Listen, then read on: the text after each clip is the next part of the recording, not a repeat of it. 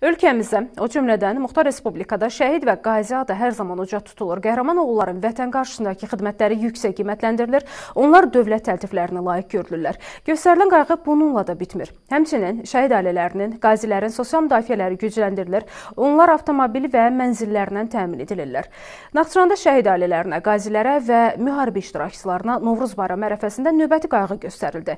Martın 15-i ilaxır çərşənbə günü 10 şəhid ailəsinə və qaziyə mənzillər, 10 Vətən müharibəsi iştirakçısına isə avtomobillər təqdim olundu.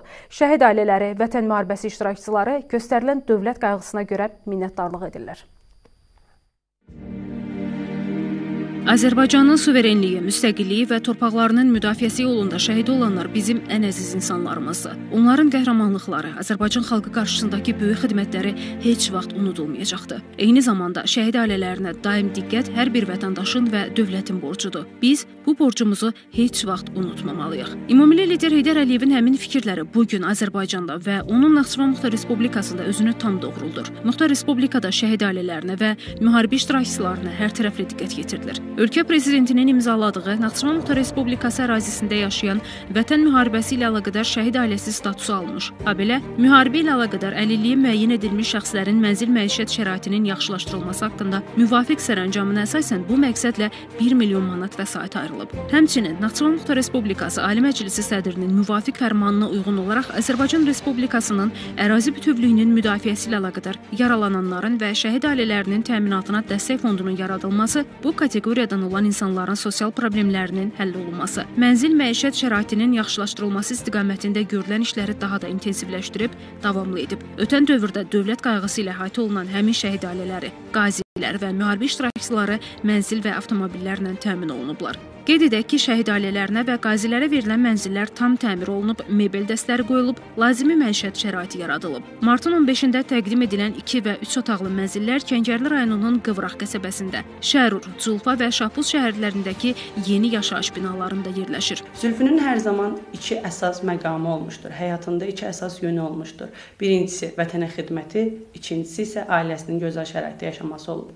Mən əminəm ki, bu gün Zülfünün ruhu şaddır. Çünki o bu gün vətənə xidməti layiqincə yerinə yetirmiş və onun adı sayəsində artıq onun ailəsi yaxşı bir şəraitdədir. Şəhid ailələrinə göstərilən diqqət və qayğı hər zaman öndə olmuşdur. Yaşayış mənzilinə ehtiyacım olduğu üçün Novruz bayramı ərəfəsində 2 otaqlı mənzillə təmin olunmuşam. Bunun üçün öz adımdan e, və bütün şəhid ailələri adından dövlət başçımıza və Ali Məclisin sədrinə minnətdarlığımı bildirirəm. Həmçinin sosial ödənişlərin hər biri vaxtı-vaxtında ödənilir və ailəmizin sosial təminatı, sosial rifahı hər zaman qorunub saxlanılır. Novruz bayramı ərəfəsində keçirilən sonuncu təqdimatla birlikdə Muxtar Respublika üzrə ümumilikdə 38 şəhid ailəsi mənzillə 38 qazi avtomobillərlə təmin olunub. Onların sırasında Vətən müharibəsi qazilərindən baş leytenant Əli Əlisoy da var.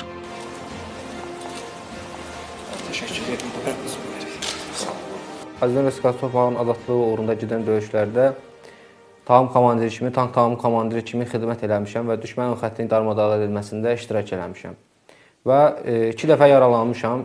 İlk e, zədən baş hissəmdə, sonrakı zədəsə düşmən snayperi ilə açılan atış nəticəsində buz sümük üçdə birinin sol qəlpəli qırığı nəticəsilə fizik diaqnostikasına yerləşdirmişəm. Ümumilikdə 7 əməliyyat keçirmişəm və hər bir əməliyyatım təmənnasız e, dövlətimiz tərəfindən həyata keçirilmişdir və sonuncu əməliyyatım yanvar ayının 11-i həyata keçirildi. Yaşad fondunun köməyi ilə özəl xəstəxanada həyata keçirildi.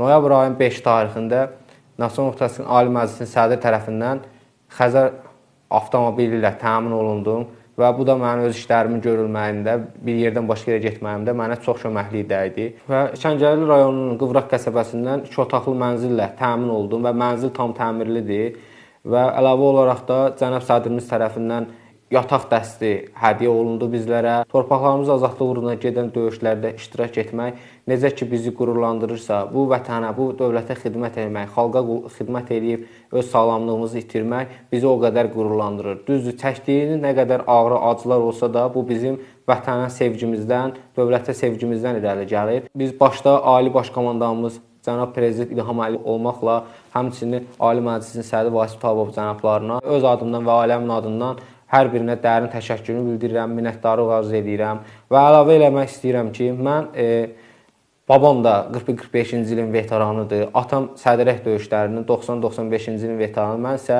e, sonuncu 2-ci Qarabağ müharibəsi qazisi olduğum üçün fəxr edirəm. Ailəlikcə özümüzü vətənə, dövlətə adamışıq və bunun nəticəsində bu gün biz görürük. Qeyd edək ki, Naxçıvan Muxtar Respublikasında şəhid ailələri üzvlərinin, müharibə ilə əlaqədar xəsarət alan hərbi qulluqçuların və əlilliyi müəyyən edilən şəxslərin müraciətləri üzrə vahid əlaqələndirmə mərkəzlərinin fəaliyyəti nəticəsində ötən müddətdə 126 şəhidin 251 ailə üzvünə vəsiqələr verilib. 277 şəhid ailəsi üzvünə prezident təqaüdü, 39 uşaq üçün sosial müavinət, 2 vətən müharibəsi qəhrəmanı üçün prezident təqaüdü təyin olunub. Bundan başqa 13 vətən müharibəsi iştirakçısı Naxçıvan əlillərin bərpa mərkəzində müalicə alıb, 21-i isə texniki və yardımçı reabilitasiya vasitələri ilə təmin edilib. Biz ailədə iki qardaşıq, e, ikimiz də hərbi peşəsini yiyələnmişik. Qardaşım hal-hazırda xidmətdədir. 27 sentyabr 2020-ci ildə başlanan 2-ci Qarabağ müharibəsində mən də bölməmlə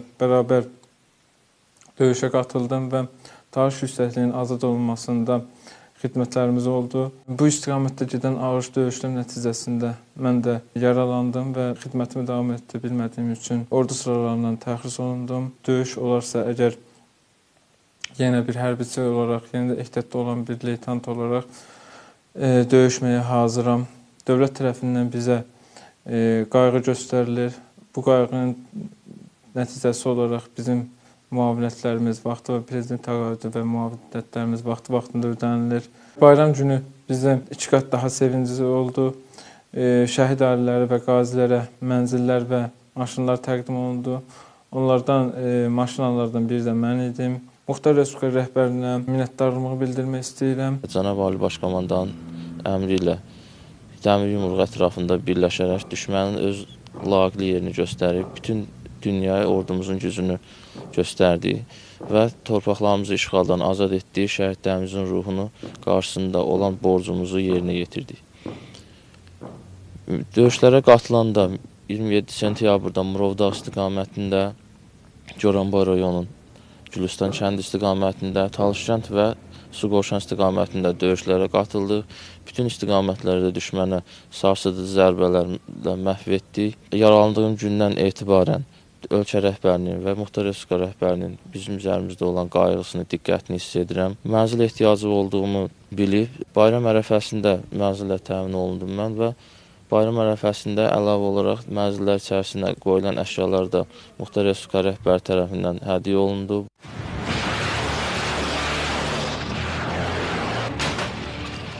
44 gün davam edən 2-ci Qarabağ müharibəsində igid oğullarımız əsl vətənpərvərlik nümunəsi göstərdilər, xalqımıza böyük zəfər qazandırdılar. Vətən müharibəsi Azərbaycanın zəfər tarixinə çevrildi. Bu silinməz tarix isə gələcək nəsillər üçün vətənpərvərlik, milli birlik və həmrəylik nümunəsidir. Bu zəfəri bizə yaşadan qəhrəman vətən övladları və onların ailə üzvləri heç vaxt unudulmur, daim qayğı ilə əhatə olunur, dövlətin onlara göstərdiyi diqqəti hər zaman öz üzərlərində hiss edirlər. Ərhan Novruzov, xanım Rüstəmzadə xəbərlər.